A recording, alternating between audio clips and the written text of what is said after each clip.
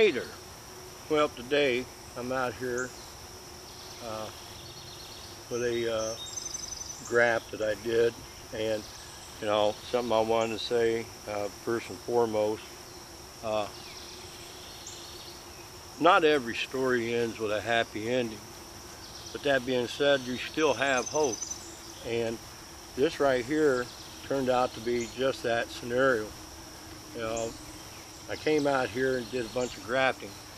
I, as everybody knows, I've done a lot of grafting this year, and I've done a total of 48 grafts this year. And out of the 48 grafts that I did, five of them did not take. So I'm happy with that result, you know, considering you know, I'm just a novice, first time ever really trying to graft. You know, it can be intimidating at times, but you know what? Uh, you never know unless you try. Anyways, that being said, this one right here was a tree that I had grafted into and I was wanting to share the results with you. And as I said, be ready. Not every story ends happy.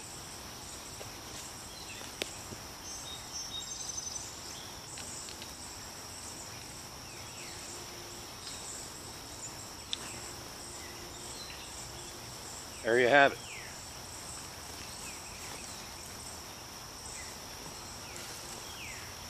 I grafted at the end of May and it just didn't take. So it is what it is.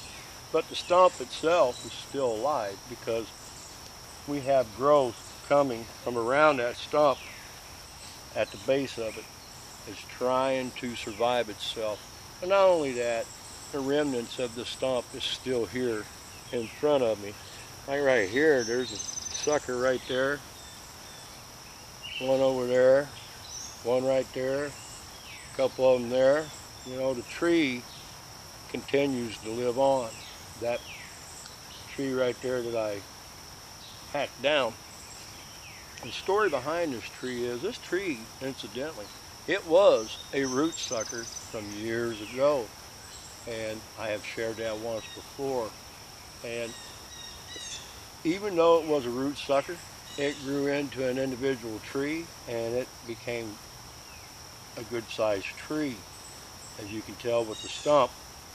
Now I don't know if I could go into here and cut again next year and try to graft. I have no idea. Or should I just cut it down to the ground, bring my grinder out here and grind that up, get rid of it altogether because it just didn't turn out for me.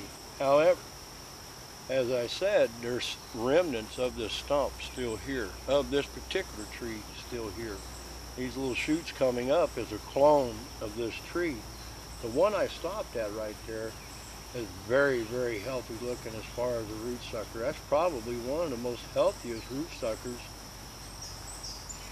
that's come up up here uh, this year. That just came up this year and it's already two foot tall and it's got a lot of good girth down at the base. So I'm going to leave that one right where it's at because as I said, you know, not every story ends uh, with a happy ending, but there's always hope somewhere down the road.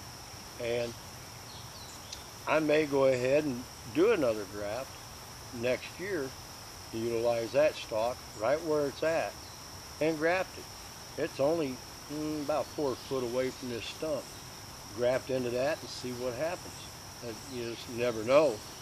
Uh, probably get in here and cut the rest of these suckers out of here so all the energy goes to that one little sucker right there and let it become its own individual tree. Probably what I'll do is this fall is chunk down in there to try to separate it from this stump. I don't know. I have to ponder about that. I will be leaving the cage on there to uh, keep it protected to see what will happen.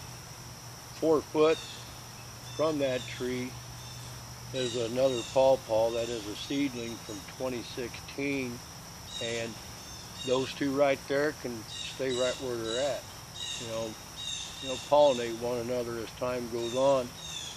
anyways, this was just something that I wanted to share with you that went on. It's I'm gonna put the cage right back over top of it just because and just leave it alone and oh well, it is what it is. And you know I'll get through it. Anyways, my name's Jim. If you like what you see, subscribe.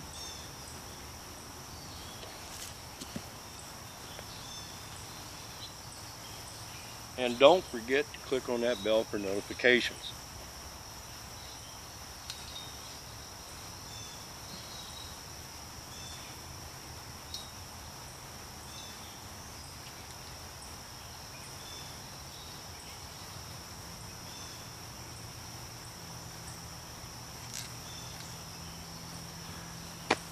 Y'all have a God bless day.